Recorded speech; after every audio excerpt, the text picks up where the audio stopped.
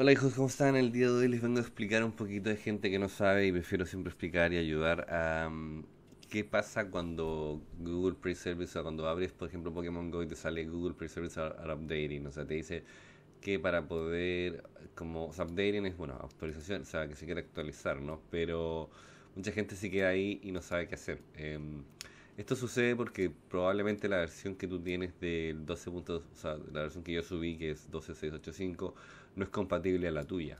O sea, tu teléfono, ¿ok? Y para saber cuál es compatible a tu teléfono es muy simple, la verdad.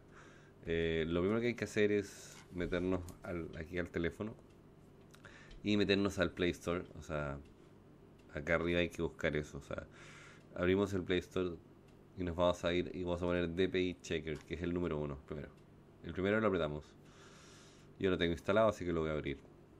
Y acá abajo hay una pelotita. Eh, espérense, yo siempre ando con mi lapicito por ahí, pero aquí no lo tengo en este momento. Em, ya. Entonces. Ok. Entonces van a agarrar ustedes y vamos a, a presionar aquí. Ok. Y lo presionamos y nos va a salir esto. Esto de acá. Esto de aquí el DPI 420, ¿ok? O sea, quiere decir que mi teléfono tiene esa cantidad de DPIs, ¿ok? Entonces, eh, lo que vamos a hacer es buscar eh, cualquier versión de estas que sea superior, obviamente, a.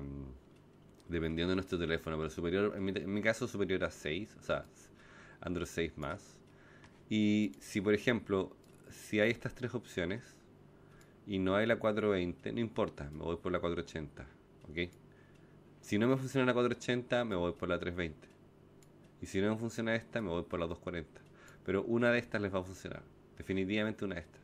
Y eso es una cadena repetitiva en todos los teléfonos. Depende del DPI, es lo que buscamos. Si tú eres eh, Android 5, eh, por ejemplo, tendría que ser esta cadena que está acá. O sea, 5 más. O sea, hasta acá al fondo. 5 más.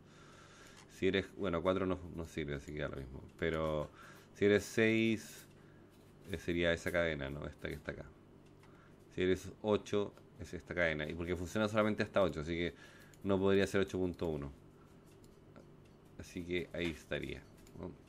Y sería eso todo. Una vez que salen eso, se, arreglaría el problema y aleluya, todos seríamos felices y contentos jugando Pokémon Go con Hack. Así que nada, cuídense.